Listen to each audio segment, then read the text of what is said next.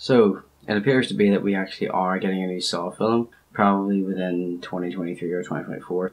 And uh, according to Josh Stolberg, who is the screenwriter of Jigsaw and Spiral, he posted on social media that the new Saw film will have Tobin Bell in it and it will be John Kramer centric, and that will also make uh, John Kramer fans very, very happy. I would have preferred the film took place between Saw 1 and Saw 2, um, but I think for the type of story that they want to tell, it might work out better it's set between Saw 2 and Saw 3. I just felt, you know, there's more of a gap there between Saw 1 and 2.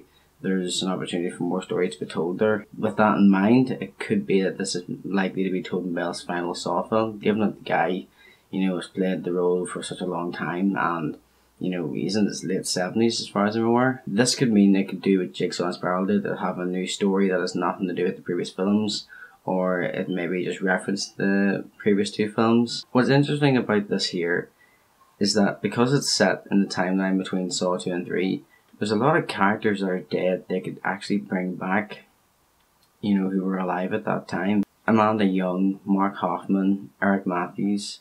I doubt we'll see Eric Matthews because Donnie Wahlberg didn't really want to come back to Saw. It means that we might get to see more development of Hoffman, Amanda, and even Logan Nelson. I really would like to see that there, but at the same time, I rather they didn't bring back Dr. Gordon. I wasn't a big fan of that their twist that they left us with in Saw 7 3D, where, you know, Dr. Gordon is willingly helping Jigsaw.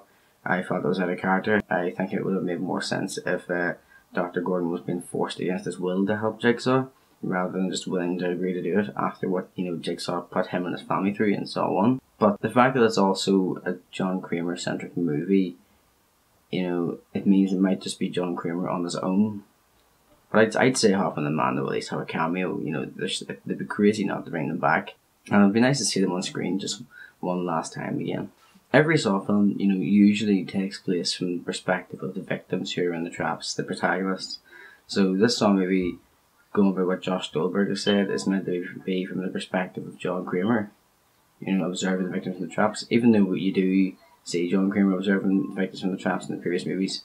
Um, I think what they're saying is that this movie will focus specifically more on John while he's observing the victims, which I think would be an interesting, a, a new take for the series to go. I think it'd be interesting to see, you know, how he thinks when he's playing the games, when he's watching. Could he be thinking about, you know, if I made the right choice, or I wonder, are they going to go with plan A, are they going to go plan B, or are they going to go X, Y, and Z? You know, what way are they going to go? But you never really get to see what he's thinking about. You know, if he's felt that he's made the right choice in choosing these victims, or does he think you know, oh maybe I should have put that person in the Venus flytrap, or they should have been, you know, given the reverse bear trap. You never really do get that there. All he does, you know, is is give subtle hints. It'd be cool if he had Hoffman and Amanda and Logan with him as well, and he could be using that there as a moment you know, to show them, you know, another lesson. This is why we test human beings. You know, look how selfish they're, they're not even working together, or they are working together, but uh, they're not exactly following the rules. You know, if you them all pointers, I think we probably could get something like that there. After Jigsaw, Tobin Bell did say he had an idea he wanted to explore the tricycle that Billy the Puppet would be on. The Billy doll was meant to be a toy for his unborn son, Gideon Kramer. We all just assumed, well, I assumed that the tricycle was just meant to be an extension of the toy. Apparently, Tobin Bell had an idea where he wants to develop that further in a way that we haven't seen before. So it might actually have a separate purpose.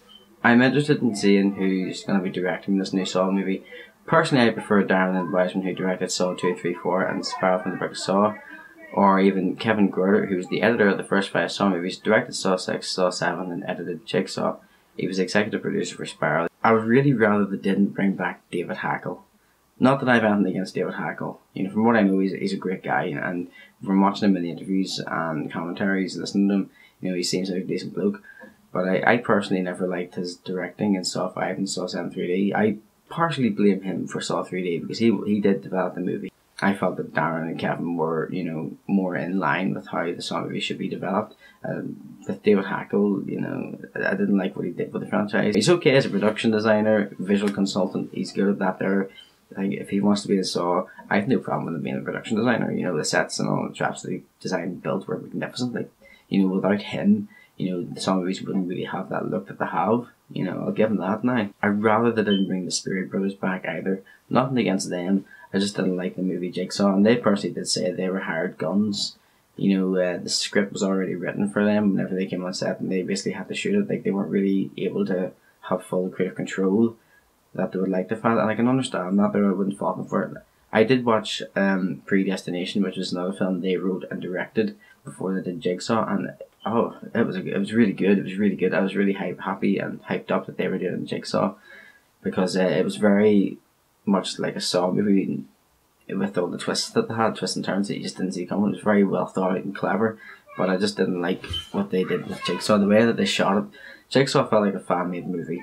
You know that it felt like all the fans got together and put their money together and made a movie and Lionsgate made a canon. That's what Jigsaw felt like. With Jigsaw, they were trying to fix something that really didn't need to be fixed, all while ignoring what really, really did need to be fixed, if that makes any sense. The right person, I think, who should direct Saw 10 would be Tobin Bell. Back in 2007 2008, they had no director announced for Saw 8, and there was speculation that Tobin Bell might be directing Saw 8 at the time, and of course, didn't happen.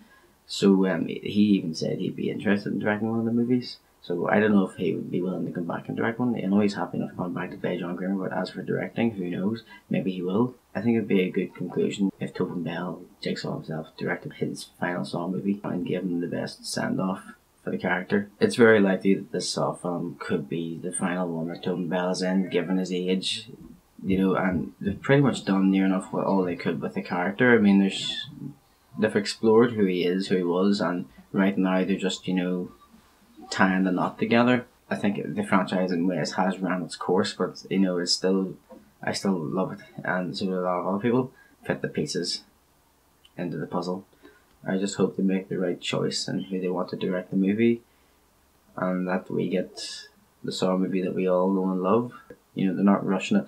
They took their time with Jigsaw, took their time with Spiral, and instead of trying to release a new Saw film, rush one out year after year, you know, they're taking their time now, which is what they really should have been doing, you know, years ago, because it allows them the time to flesh out the story and make it the best they can. I think that's all I have to say, and if I find out any more information, I'll make another vlog and put it up.